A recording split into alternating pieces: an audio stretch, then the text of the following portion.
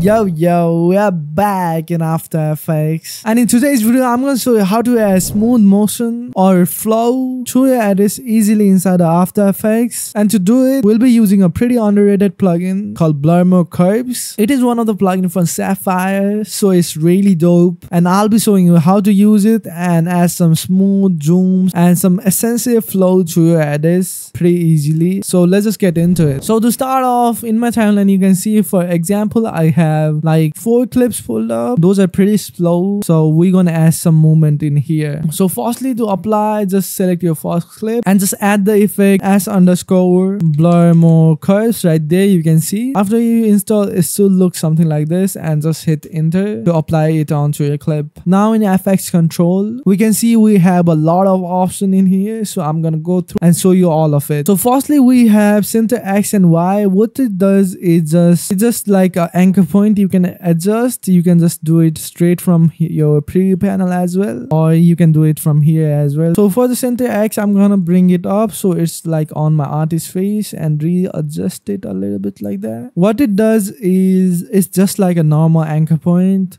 so if I like zoom in, it will zoom into his face or anything that you like put at the anchor point on. Another really useful one in here is Z Dist. What it does is a simple zoom. If I like zoom in, you can see it's like a simple zoom, but the name is kind of different. So don't confuse on that. And as I said, readjusted the anchor point. So it's like zoom into our artist face directly. So we don't have to like play around with position to match it all. Then we have simple rotate. It's really like self-explanatory you can see it like rotates and shift x and shift y is just position you can see. Just uh, x position and shift y is y position so something like that. And this shutter duration and all those stuff are from motion blur i guess. So you don't really have to worry about those because the motion blur settings are really dope already. And another cool one in here is brightness. What it does is just a brightness like exposure. So if you want to make like some flashes really quickly. You can do it from here. You don't have to like apply or exposure and go through that process. And lastly in here we have warp x and warp y. What it does is just it's just like a motion tile. So if you set it to like reflect or tile reflect or tile and if i like shift x you can see it like reflects and we don't have like black edges so that's really cool because we don't have to like apply motion tile. And that's all for the options. So now let's go through like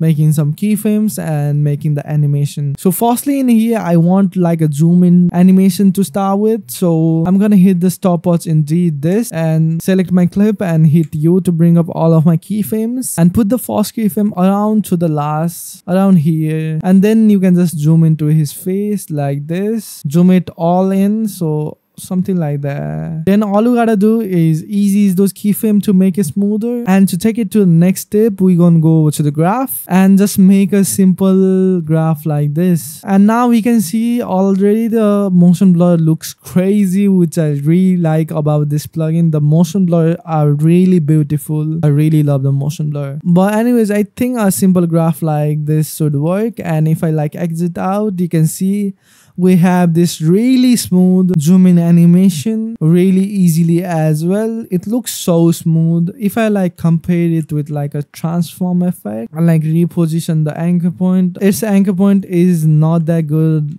as well something like that and just hit the stopwatch on scale. This is like an example easy ease and let's just make a same graph on it as well and bring up the shutter angle. Now we can see the transform doesn't look that smooth at all. It's like really laggy even though i have a good graph on it let me show you real quick. You can see this is a pretty good graph but it doesn't look that smooth at all. But if i like disable this and show you the BlurMoCurves you can see the animation is a lot more smoother and really like eased out which i really love. So let's just remove transform for now. It was just for example. So now we have another clip right here. So to go on to another clip i want to make a slight transition. So for that we're gonna hit the stopwatch on shift x Yes, hit the stopwatch on Shift X, put the zero keyframe around the middle and go over to the last frame. And we're gonna bring down the value to negative. So like negative 2000. Yeah, negative 2000 is pretty good, like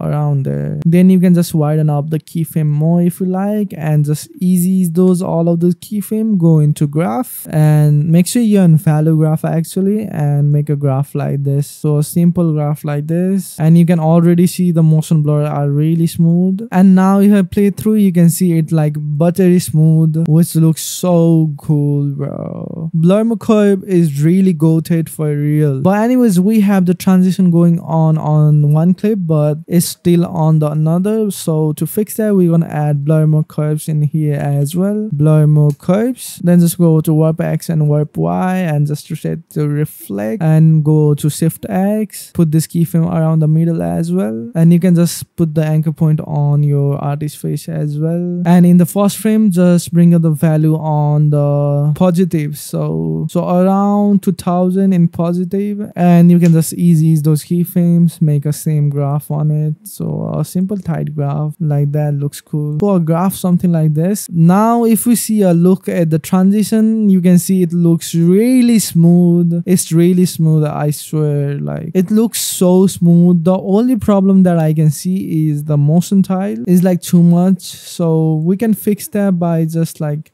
repositioning the anchor point and we can just zoom it into our subject face a little so something like that. And now if you take a look it looks so smooth. I think the scaling up is just too much so let's just lower it down to something like that. So now you can see that looks super smooth right there. We're gonna make another transition on going on to another cube right here so we're gonna make a simple zoom out transition. As we zoomed in already on our footage so it will be really easy to do. So hit the stopwatch and do this put the keyframe around the middle as well the first keyframe and go over to the last. And you can just bring up your amount on the Z Dist to like 1.5 around something like that then you can just easy those keyframes and make sure one of those keyframes is on the end and then go over to the graph and make a simple graph like this. And another plugin i really like is flow when it comes to like making graphs and stuff. You can see we have a graph preset. You can make like graph preset and just save it. So it's really dope if you want to like make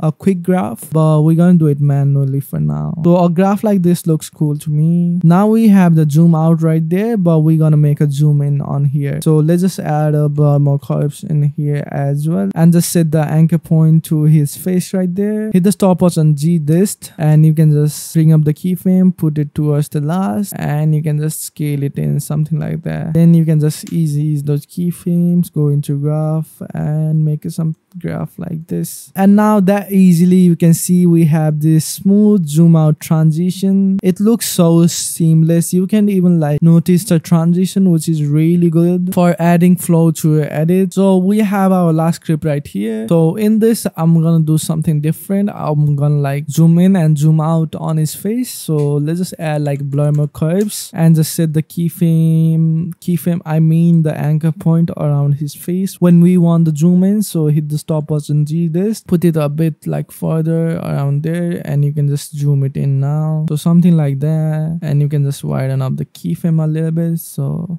something like that. Then you can just easy those keyframe go into graph and make a graph like this. So a simple s curve like this looks cool. So it like zooms in as you can see. And at the end i want it to zoom out as well. So let's just set the value back to one and go into graph again and make a similar graph on it. So something like that. Now you can really see the motion is really smooth. You can leave it right here if you don't want to add further effects and stuff but you can add some six into this to spice spice it up. So i'm gonna show you how to do that as well. So to do that we gonna use Shake sauce. So let's just open up Shake sauce right here and dock it around here. Let's just bring it wide open something like that. Now we can see we have Shake sauce open up. If you don't already know this is like a plugin that Bryan made to add six and impact to your music video really easily. To your music videos or any type of video you are working with. I saw people use it for like car edits and stuff as well. And like other reels and stuff as well. So it looks so cool. So i'm gonna go through and showcase you this plugin as well. And if you want to download this got you guys with the offer So if you use the code ASIM, you can get 7 days free trial to try it out and see if you like it. And if you don't, you can cancel it anytime. But you can see now in Keyframe, we have all of these effects in here. I have my own as well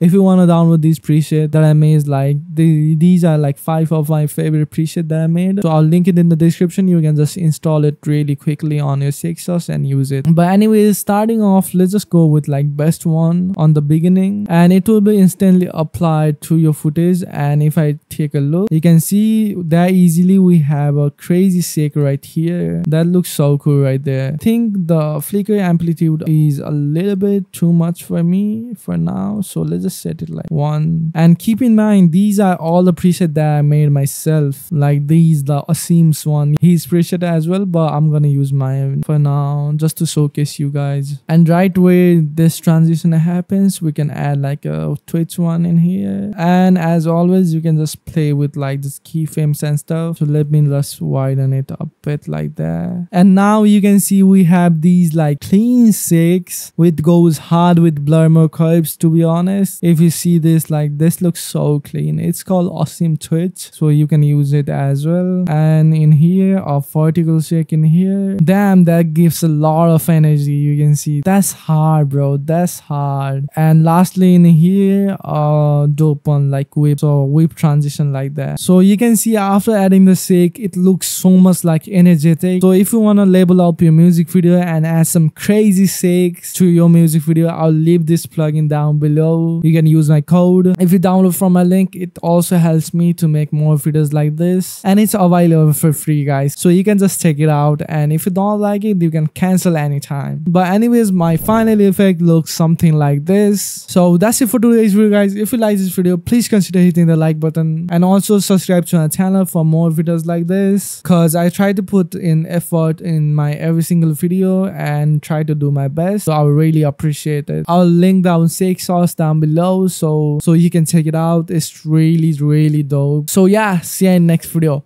Peace